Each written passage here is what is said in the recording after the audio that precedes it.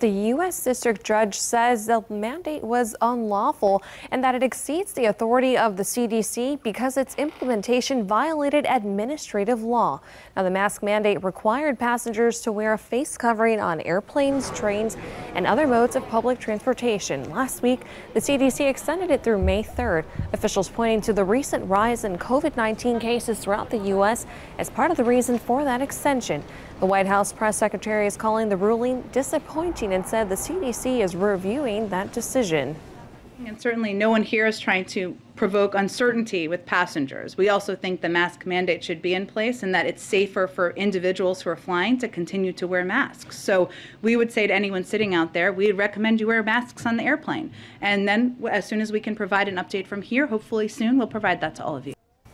Now, some airline companies are already posting messages to their websites about the ruling, telling travelers that masks are now optional. In a statement, the TSA says effective immediately, TSA will no longer enforce its security directives and emergency amendment requiring mask use on public transportation and transportation hubs. TSA will also rescind the new security directives that were scheduled to take effect tomorrow. Now, the Department of Justice has not said if it will try to appeal that ruling. Reporting in the studio, Pari Cruz, News 3.